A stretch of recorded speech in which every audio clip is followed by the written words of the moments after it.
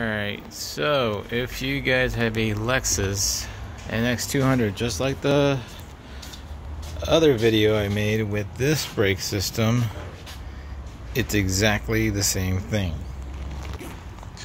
So, for the parking brake, electronic parking brake, there's two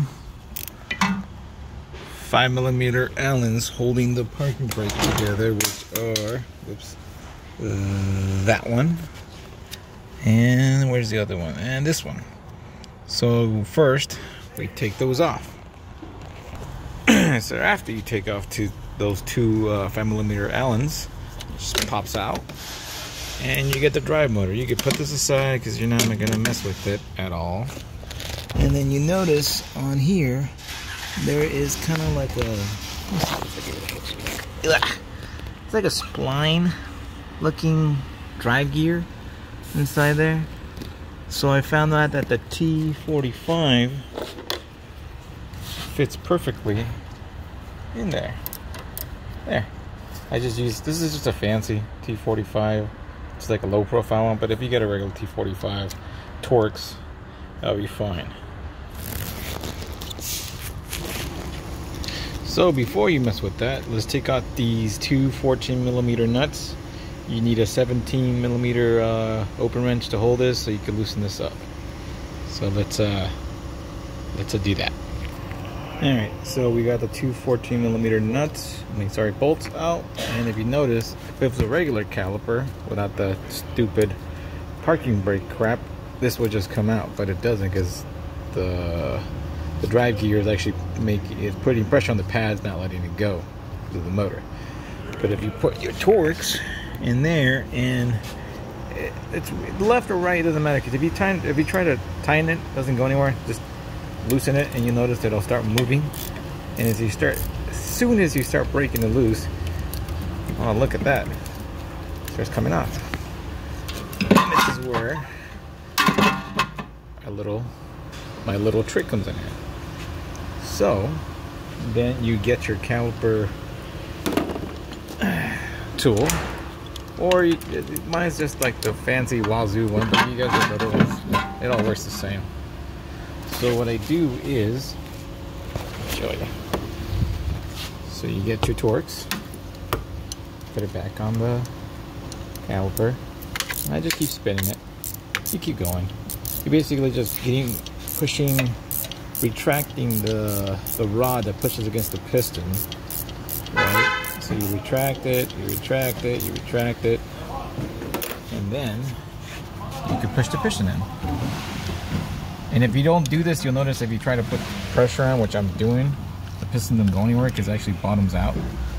And you just, you really just keep on doing this back and forth. It's better with two hands, but since I'm holding the freaking camera, it's kind of like a pain in the, pain in the butt. So you know what? Let me just do this. You guys get the point. Yeah, let me just do that. Put the camera down. Alright, so pistons in, everything's good. So now we're just gonna put this thing in, which would be a lot easier if I had two hands, but hold on. Alright, so you put the caliper back in. Obviously, I got to take this off because I still got to machine the rotor, but just to make sure how you guys get it, you, you put the 14s back on, and then that point, you could um what I do when I notice that if you don't lubricate this little O-ring right here it's a pain in the rear end to get it back in. So it's a little bit of WD-40 should be fine. Just a little bit. Didn't have to go wazoo on it. Just a little bit. A little spritz. And you kind of run it across the whole seal. Yep then you get your stupid over over engineered unnecessary freaking Toyota. I don't know. It's the reason I don't like. It's the reason I kind of. I'm really glad I work for Toyota. Because this is kind of be a pain in the butt if I was an actual Lexus technician.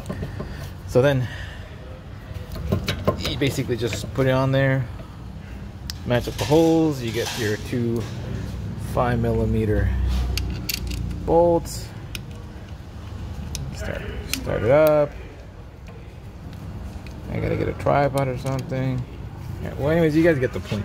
You guys put your two 5 millimeter bolts back in, And at that point, after you machine your rotor, which obviously I haven't, you're done. You're done. You don't have to do anything in the car. You don't have to do nothing. You don't need no scanner. You save a lot of money. You don't pay the Snap-on guy, Matco guy, or any other tool truck guy money to update your fuck your freaking scan tool. Because apparently, if you don't update it, you can't use this stupid feature. Which, or you could just go like some of the guys that put power to this, which that's more you're just asking for trouble. You're gonna put power and ground to that. Like, yeah, I don't know. My method worked fine, and it works fine for the RX, which is like the the better version. Of this. This is like the poor man's RX, I'm guessing. Two liter turbo, but whatever. But you guys get the point. After everything, you tighten up your five millimeter nut bolts and uh, tighten your 14, and you're done.